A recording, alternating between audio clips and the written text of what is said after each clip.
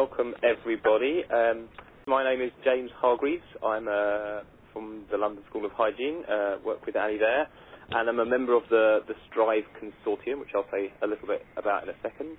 I'm also the, the director of the, the Centre for Evaluation here at the school, and have had a, a, an abiding interest for several years in uh, the association between measures of poverty or, or socioeconomic position and and HIV epidemiology and transmission. And that's one of the, the key themes of the, the STRIVE consortium. STRIVE is a, a DFID-funded consortium uh, bringing together institutions from India, South Africa, Tanzania, um, the US, and, and, us in London um, to study structural drivers of, of the HIV epidemic and, and, to try and understand solutions to, to those structural drivers. Uh, and as I mentioned, um, one of those structural drivers that we're particularly interested in is, is poverty, the distribution of wealth and, and, inequalities, and how that interacts with HIV. And a, a, key component of being able to understand and study that question is is the measurement of poverty. Um, so I'm really pleased to introduce Sabina Alkire, who's from the Department of International Development, not our esteemed funders, the Department for International Development. Um, She's from the University of Oxford, uh, Department of International Development, and she's uh, going to talk to us today about their uh, their work on multidimensional poverty measurement and analysis, um, and particularly um, the multidimensional poverty index, um, which I understand she's been working on for for some years. So with that, I'll, I'll turn it over to Sabina. Thank you so much. It's really delightful to be here, and I look forward as much to the half of the time that we will spend interchanging as, as to anything else. So what I'm going to do briefly is introduce the global MPI, um, show some of the analysis of the 2014 findings, and then of how it changes over time, and then also end by discussing national multidimensional poverty measures that are tailor-made to policy contexts and then in final, just show you some of the materials that are on the website should you be interested in taking this further. The global MPI, or Multidimensional Poverty Index, is an internationally comparable measure of acute poverty that has covered over 100 developing countries since it was launched um, in 2010 by the UNDP's Human Development Report Office and by OPHI, the Oxford Poverty and Human Development Initiative, and we co-designed it together. It is published by the Human Development Report Office in the HDRs, and the details of the calculations and statistics are published on OPHI's website. It's been updated every year that an HDR has been published.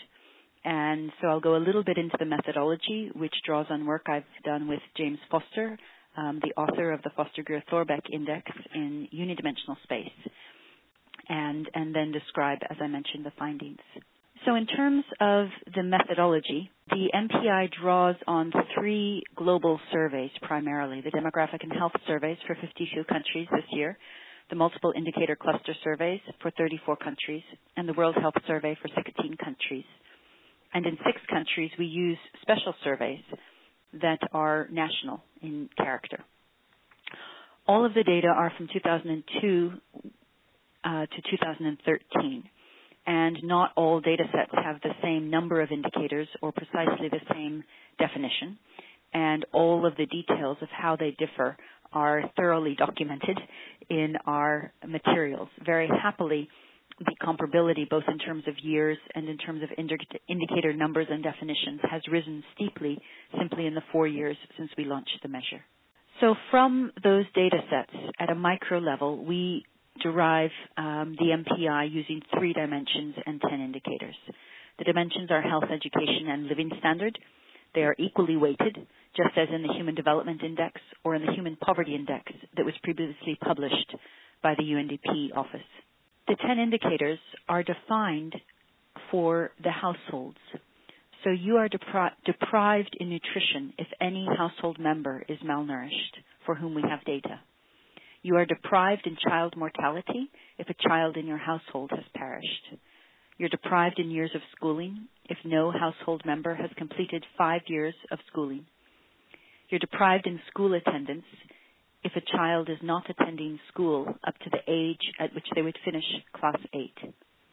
You're deprived in cooking fuel if you cook with wood, dung, or charcoal.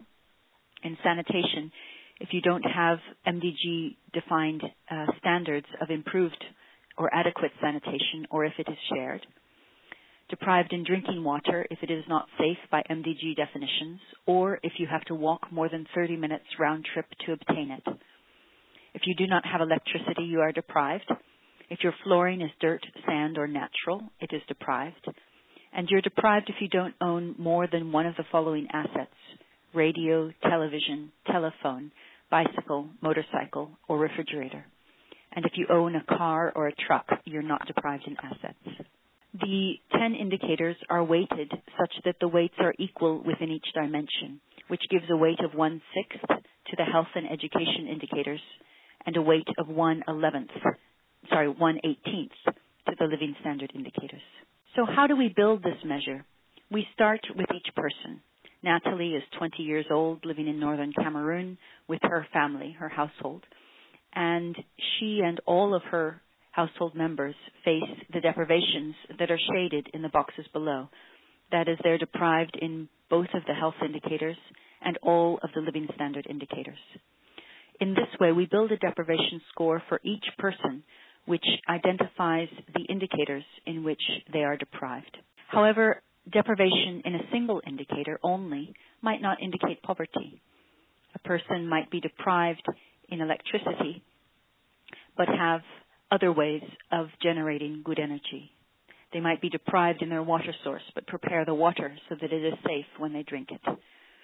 They may be deprived in nutrition, but it is because they prefer a very low or slim body figure, or because they are uh, a fashion model. So there are different reasons that people might be deprived in a single indicator, which may not actually indicate poverty. So we identify a person as poor if and only if they are deprived in a minimum of one third of the weighted indicators at the same time. That is, all indicators in any single dimension, or one health or education indicator, plus three living standard indicators. In the case of Natalie, she is deprived in 67%, two thirds of the indicators. And so she's definitely poor because she's deprived in more than one third. Starting with each household in this manner enables us then to build a national poverty measure. And the poverty measure is the following. It is the product of the percentage of people who are poor because they are deprived in more than one third of the indicators at the same time multiplied by a new factor that we call intensity. And intensity is the average percentage of deprivations in which poor people are deprived. Natalie was deprived in two thirds of them at the same time. But on average, people in Cameroon are poor in fewer. Measure is an M0 measure. It's a member of the class of the Alkire-Foster multidimensional poverty measures um, that is basically a multidimensional extension of the Foster-Greer-Thorbecke indicators that are widely used in income poverty. So that's our approach in terms of measurement, whether we are doing the global MPI, which I'm presenting today, or whether we are doing national MPIs in which the indicators and parameters reflect the policy priorities of that country. So what did we find in 2014? In 2014, we released Uh, estimations for 108 countries. Those 108 countries cover 5.4 billion people.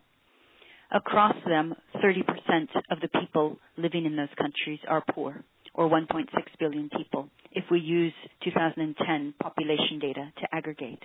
However, this is simply showing the headcount ratio, and what is distinctive about the multidimensional approach is that it doesn't only give you a headline indicator, but it gives you a lot of other in- information.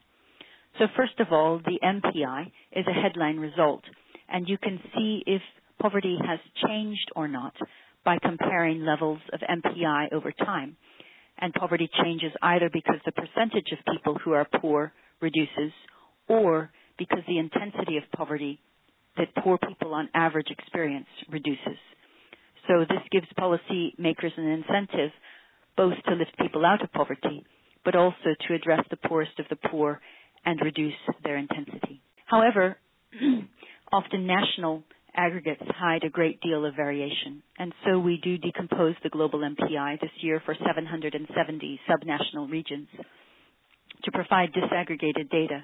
What is shown here are the figures for Nigeria and for Indonesia.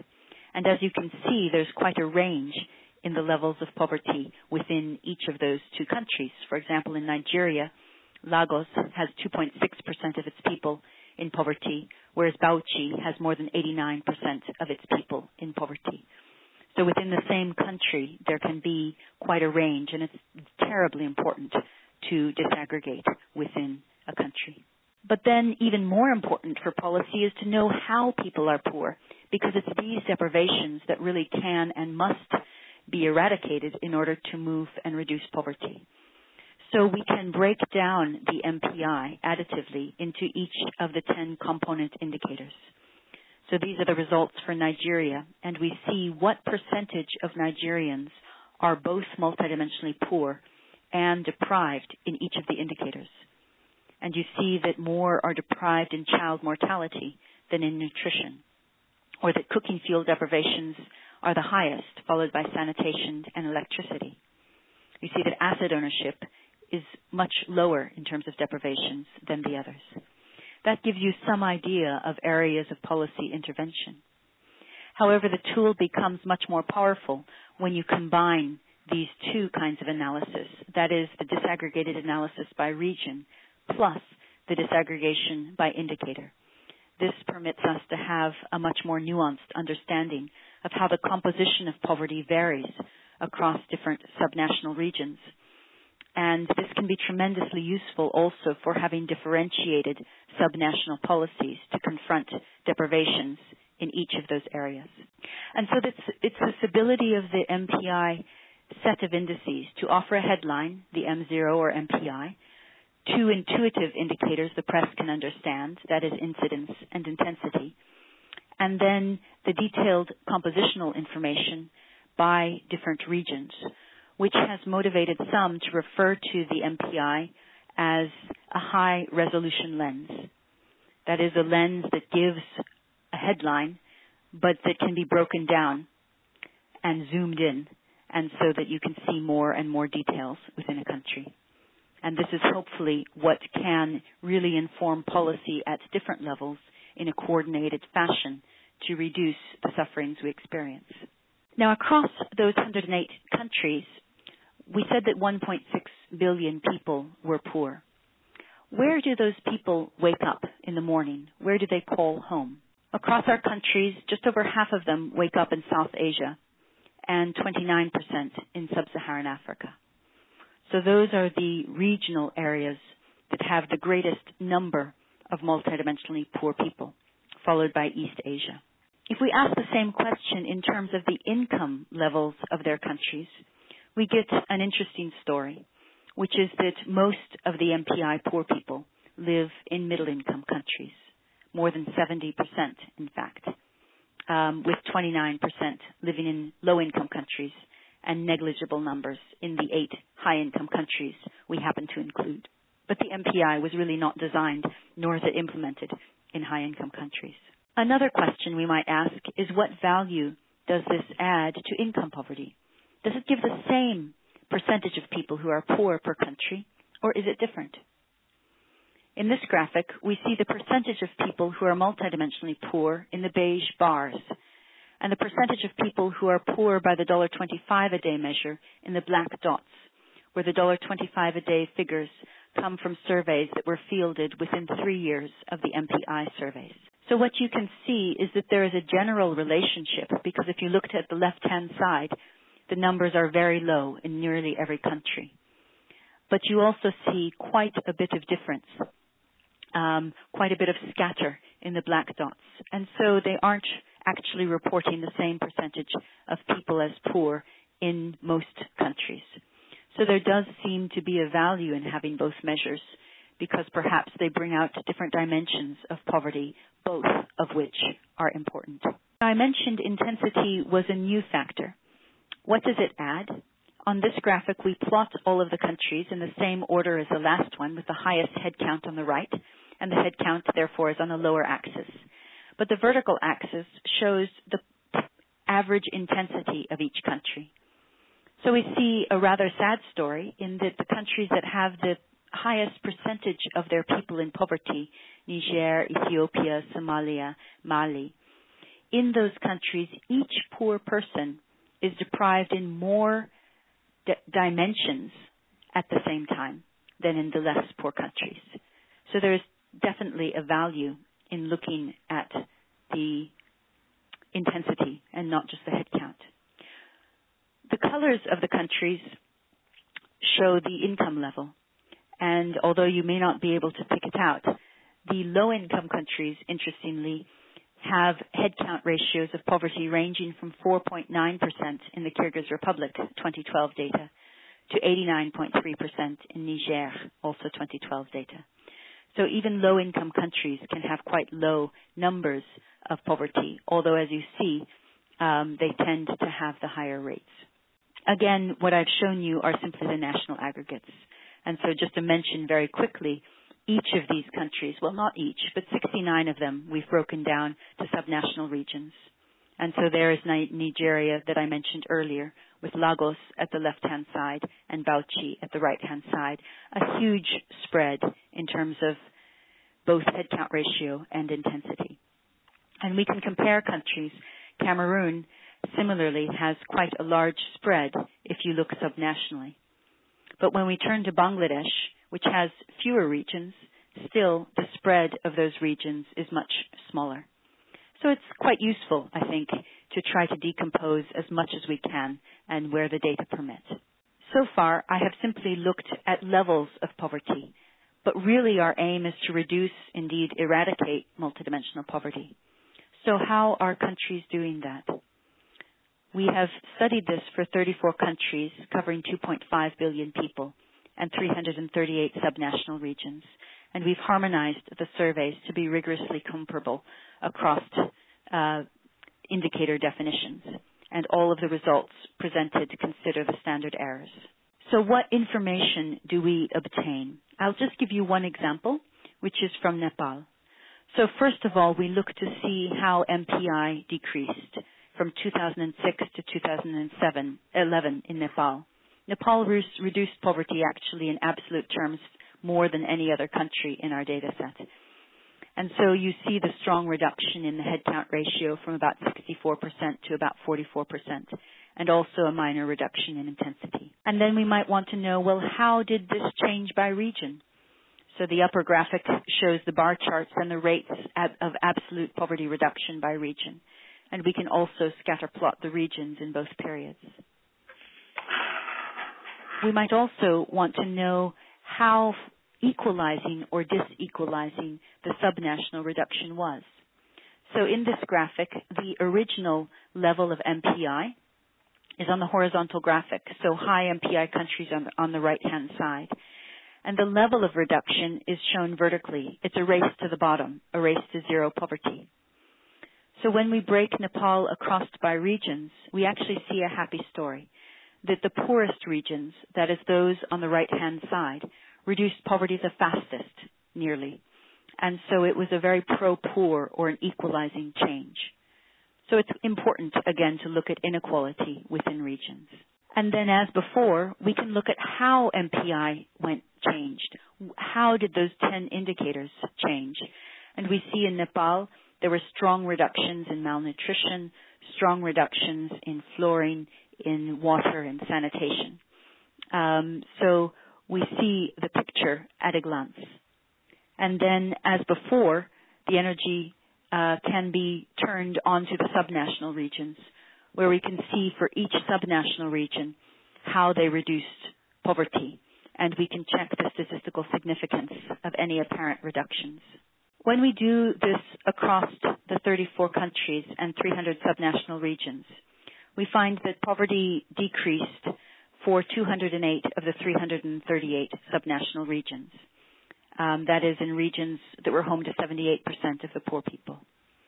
We also find that 10 countries reduced every MPI indicator significantly, and that eight of them reduced poverty in every subnational region, and that in nine countries, the poorest region reduced poverty the most. And so we are able to study across countries also the different equalizing and pro-poor trends that countries have. So far, I've only decomposed or broken down the poverty by region. But of course, we might want to break it down by other groups, ethnicity or caste, religious group, rural urban, uh, household composition, or other variables that the data might be representative by. So let's do that for ethnicity. In the case of Benin, the balls are each of the ethnic groups. But here we see a sad story. The axis, as before, shows initial MPI, so Peul, on the right-hand side, is the poorest ethnic group. As before, it is erased to the bottom. But we see that in this case, it was the least poor ethnic groups that reduced poverty the most, a disequalizing trend, perhaps creating social tensions. If we move over to Kenya, happily, we see the other story. Here, the Somali group is the poorest, and happily, they reduced MPI the fastest. So they are catching up with the other groups. Again, we might want to look at how MPI changes in comparison to $1.25 a day measures. And the reason is that if they walk in lockstep, perhaps the same policies reduce them both. So we've done this again for the countries where we have the ability to compare two points in time for $1.25 a day data. And we see that in some countries like Nepal, the, rates of reduction are identical, annualized. But in the case of Rwanda, Ghana, Bolivia, the next fastest reduction in poverty, or Bangladesh, or Nigeria, or Peru, India, Cameroon, in all of these countries, the rate of reduction of multidimensional poverty was faster significantly than the rate of reduction of uh, MPI poverty. And so if we had only looked at reduction of income poverty, we might not have so that is, in a sense, the conclusion of the findings on the global MPI. We also have decompositions for 106 countries by rural and urban regions, inequality measures for 91, and destitution measures for 49 countries, but time does not permit sharing those results. I did want to mention that the global MPI is only one of the two different types of MPIs we work on internationally comparable measures like the global MPI um, enable us to really look across countries and learn lessons. And such a measure might be useful in the Sustainable Development Goals, perhaps using better data or different definitions. But alongside this, just like every country has a national income poverty measure that it uses for policy, it doesn't use the $1.25 a day measure. So increasingly, national governments are developing national multidimensional poverty indices that reflect their national definitions. Seven indicators in Mexico that include income, 15 indicators in five dimensions in Colombia, a different structure in Bhutan or the Philippines. And both of these, in a sense, have different purposes, but really do push the policy envelope in different ways and national MPIs are actively used for policy coordination, for targeting, for monitoring and evaluation. Yes, we can have a multidimensional uh, difference in difference equation, um, and also for allocation. Governments that have generated these and that are generating these have formed a network which we have the privilege of being the secretariat at at the moment, which includes 32 countries um, at the moment, and that is rising all the time. And these include ministers, vice ministers, heads of statistics, um, and heads of states and vice presidents. And their aim is basically both to support the development of national MPIs that can enable policymakers at different levels to reduce poverty, also to promote a, a global MPI in the post-2015 or Sustainable Development Goal context, and then also to look at data issues. So I wanted to underline that because the real motivation for doing this work is not just measurement. Measurement is motivated by the desire to really inform effective action. Um, and so we end with a quote by Jean Drèze and Amartya Sen that positive changes have often occurred and yield some liberation when the remedy of ailments has been sought actively and pursued with vigor and it's our hope that the different kinds of multidimensional poverty indices might be used by those who are actively seeking to uh, eradicate poverty.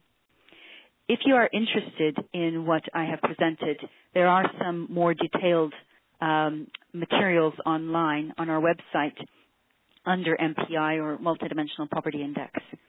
There we have some case studies. Uh, we are economists in our group, but we do also go to the field and try to understand from a human lived perspective the insights and the oversights that the global MPI has in different contexts. We also have policy briefings on different topics um, that are undergirded by academic papers. For younger people, we have infographics which try to present our measurement work in a more intuitive way without even one formula. But for many of you, what might be interesting is the data bank. So if you are interested in making a map or a PowerPoint of your country, then from the data bank, you are able to simply upload your a particular country and do all of these graphics for it and explore it on an interactive dashboard where you can govern the indicators that show on different axes and sort of work through the database. There are certainly academic papers, but there are also Excel tables that have all of the estimations for every subnational region that we have included. So I do hope that you will use these and that that might be, in a sense, uh, we might benefit from your insights, your reflections, and your studies on them, because it's only through all of our work that uh, we will be able to advance. So with that, I thank you not only on behalf of myself, but on behalf of all of our team. And we are comprised of many young people who live in many different countries, not just in England. Thank you very much.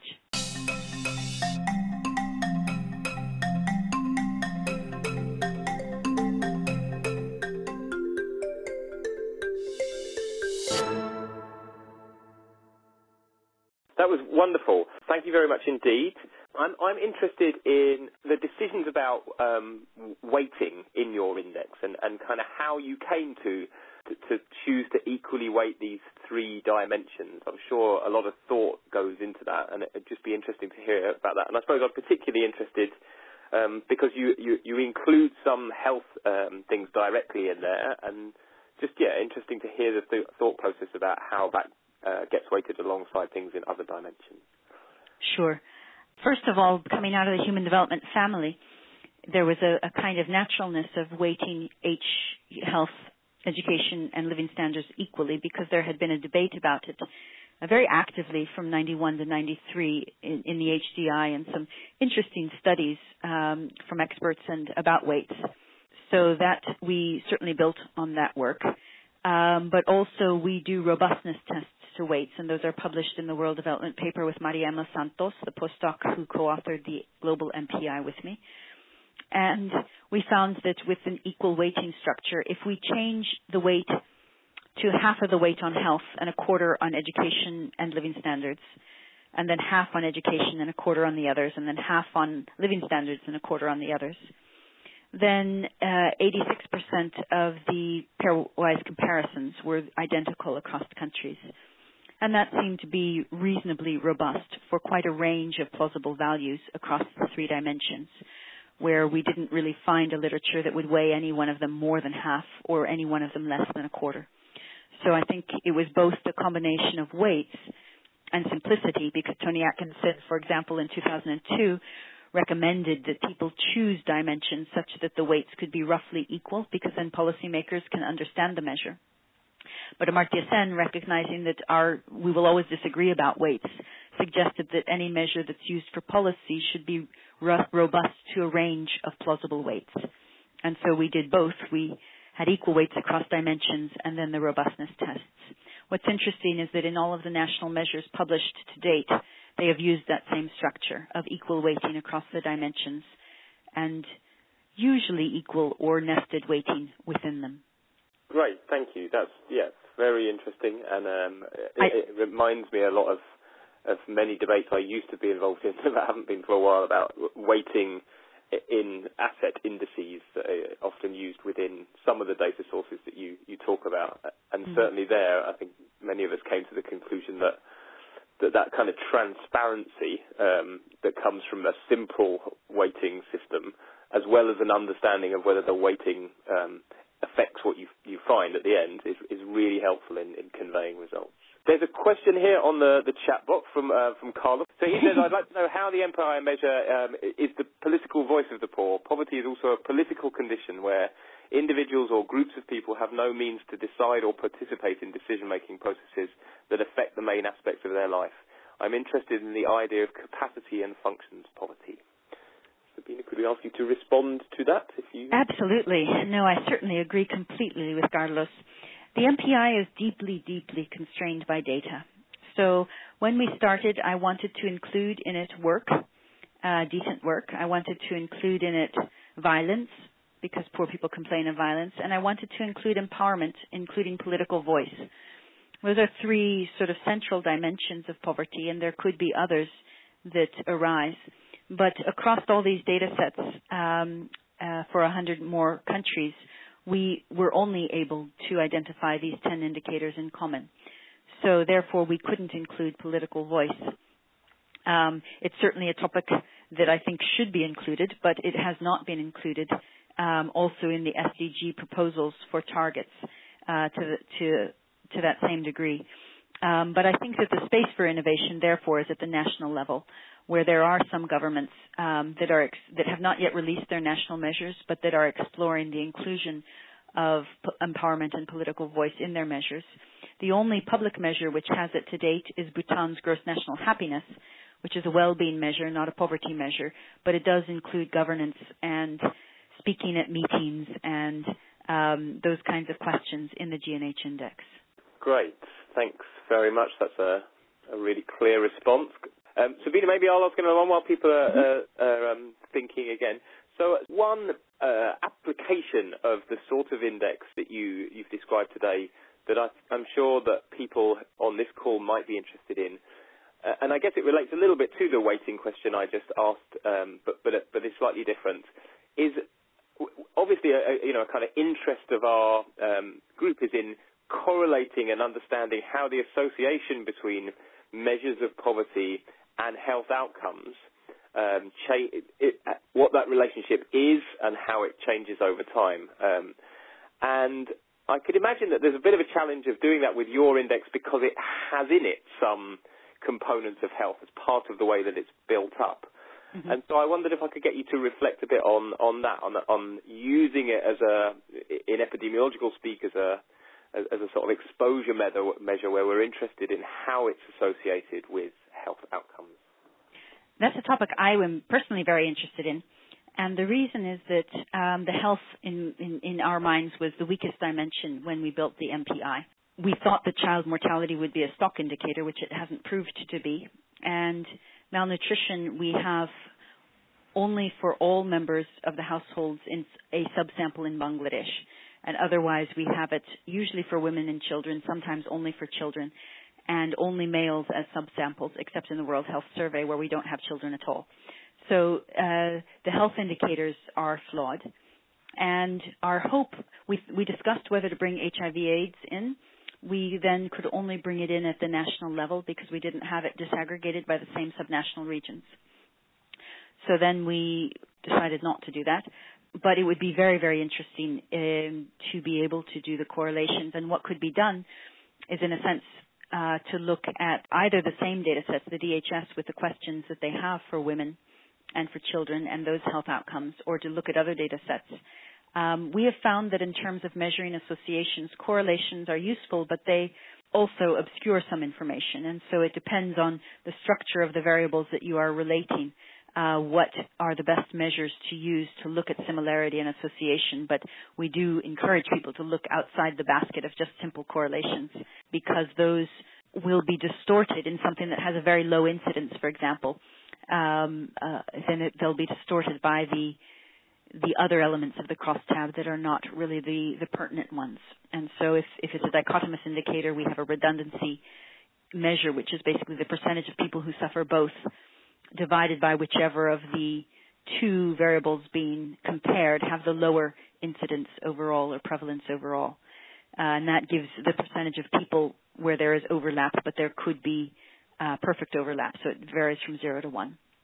So um, there's some technical issues in looking at um, associations across variables, but I think the bottom line is that we would very much like to expand or to work on the health dimension in different ways. Both, I think the easiest one is by comparing the MPI to other indicators of health, non-communicable diseases, or, or particular health conditions that we've not been able to include.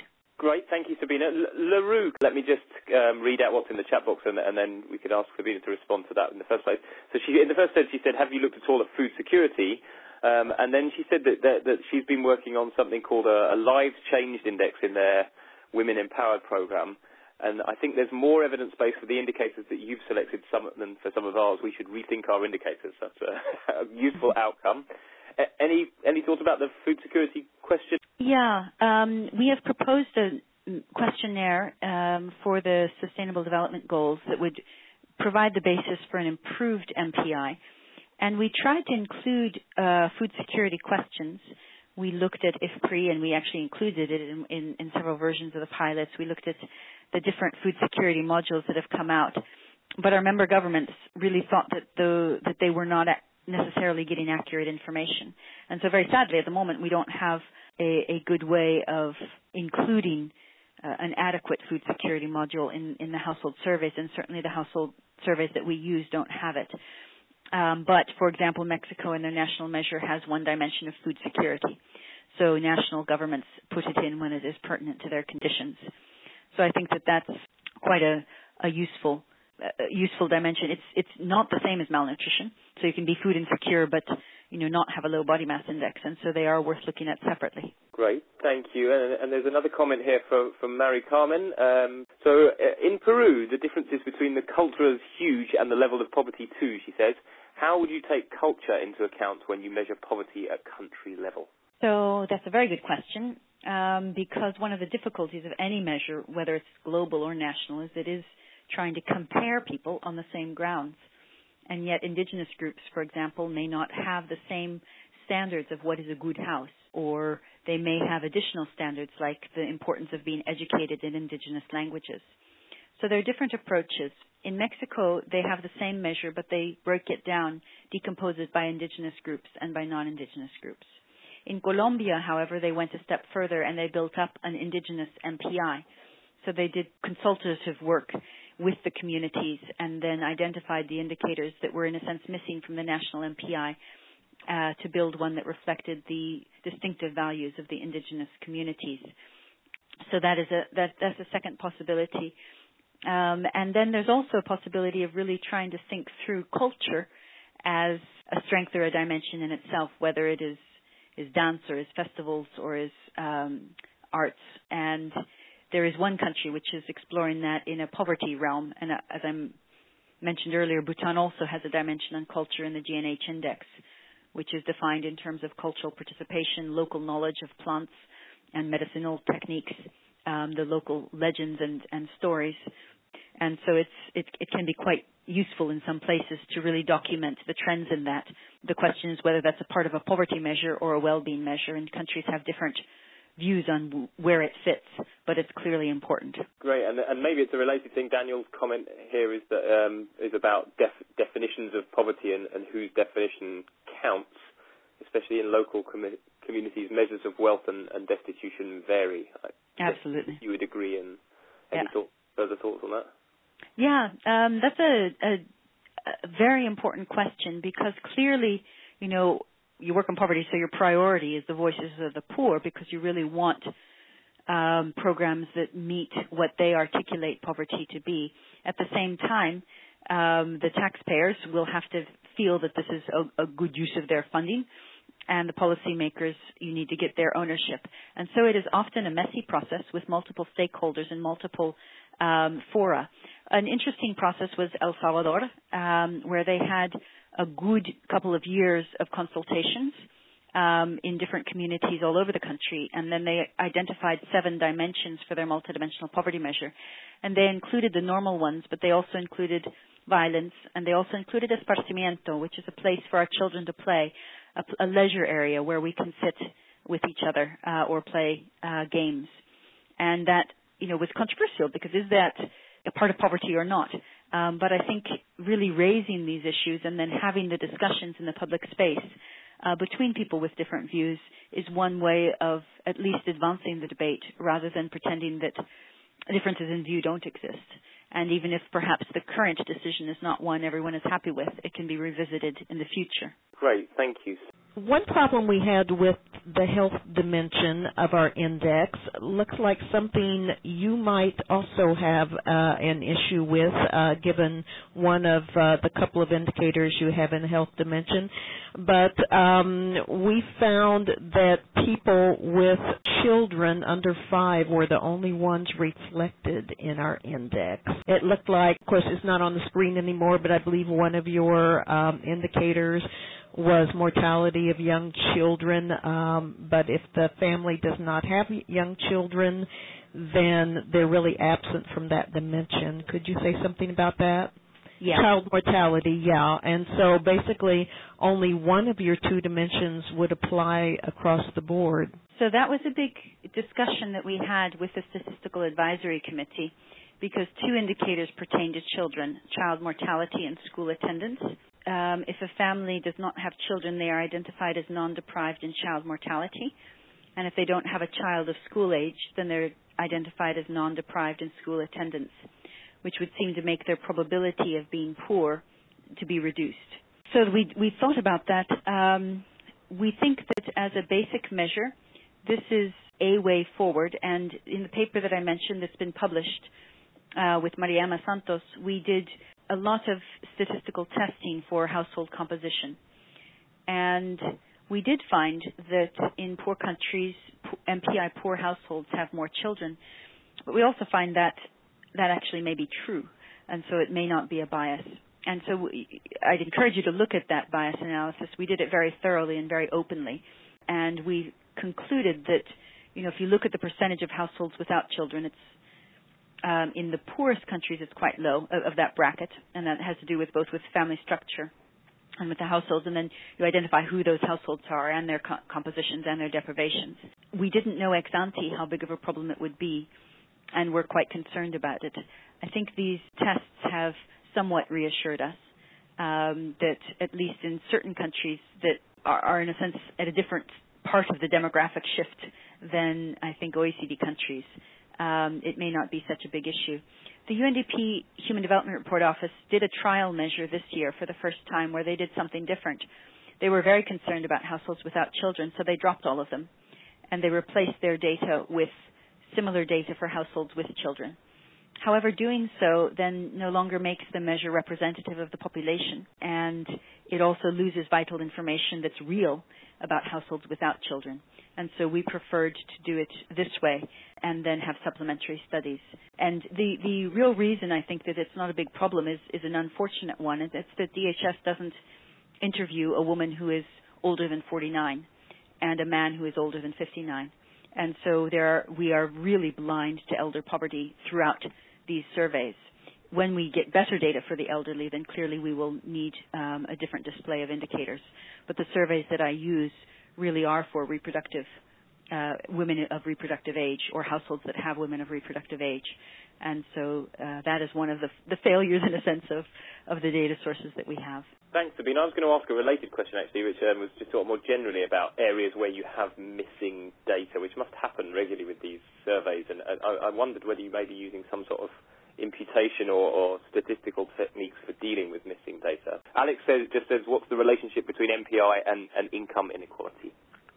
Well, that's a good question for you to answer. Um, we haven't done that study. It's certainly a study that needs to be done. And what we do is we do report in our tables the Gini coefficient for every country that we have, uh, but we haven't gone beyond that in terms of studying the relationship between MPI and income inequality. So you know, a, a, small research group can only do a certain set of studies, and our real our real hope by making these numbers public is that others will take them up and run with them and and do some of these kinds of really penetrating studies. To come back to the question on on multiple imputation, it's a good one. We've looked into the multiple imputation techniques and we'll do academic work on that in future.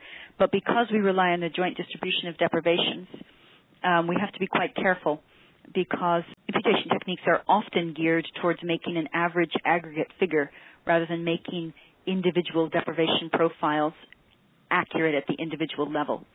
So this is a much more rigorous process than what is normal, normally presented in statistical methods. So what we have done is the following. If there, there are certain non-eligible households that we continue to include. For example, if a child, uh, a household has six children, but they only have information on whether four of them are attending school, uh, and none of them are. I'm sorry, all of them are. So they appear to be non-deprived, but we only have da- data for two-thirds of the children. We still include them. So if you have a minimum of at least two-thirds of the children, you include them. Clearly, if they're they are deprived, even if they only have data for one child, then we include them because they are de- definitely deprived, no matter how many people we have. Otherwise, if, a, if we don't have those rules for determining eligibility, then if they are missing even one of the 10 indicators, we drop them from the sample. Um, the percentage of missing data is published, as are bias analysis, analyses uh, if any country misses more than 15% of the sample. It was quite a problem in the earliest surveys uh, that we released in 2010. It's rapidly decreasing as we uh, have replaced the surveys with, with more data. Um, so we're, we're quite pleased by that. But certainly uh, we have a rigorous treatment of of all of this in the academic work because it's it's really quite important. And we may in future impute, but right now um, I, I would rather be conservative and very open um, and and play on the academic front on imputations rather than publishing them as a policy document. Great. Sabina, anything else you'd, you'd, like to leave us with? Um, this has been incredibly useful for all of us um, in the Strive group, definitely. Uh, really helpful. So thank you very much for your time. Yeah, three, three quick things. One is that our question is how is this useful in the Sustainable Development Goals framework as a complement to income poverty? Um, what changes are feasible um, given some kind of data revolution, and what should we do if there is no data revolution? Um, so those are one set of questions we're working with. The second one is we really are doing a call for research, whether it's econometric research, whether it's qualitative research, whether it's country-specific studies. I'll give two examples. In Bhutan, the national income poverty measure identifies about 12% of people as poor, and the national MPI identifies about 12% of people are poor, but only 3% of people are poor in both measures. So there's a qualitative mystery. Why? You know, why are one quarter of the people who are multidimensionally poor non-income poor? And why are three quarters of the income poor not multidimensionally poor? So that's a call for people to knock on their doors and find out the story. Um, but we also need econometric work, macro and micro regressions, and we need particularly country studies looking at the policy regimes in different countries where we know how poverty reduced and how it reduced in different regions, finding natural experiments, finding different policies that may be reflected in changes of the MPI. So we are very much hoping that um, interaction with groups like Strive will also uh, generate further research um, in this field because it certainly is a field under development. Great, that's a very nice way to end. Thank you very much indeed, Sabina. Um, I'm sure um, if people wanted to contact Sabina, they can find you either through your website, would that be right, or, yep. or maybe through Strive. So, um, great. Thank you very much indeed to you. Thanks very much indeed to all of the participants and the questioners.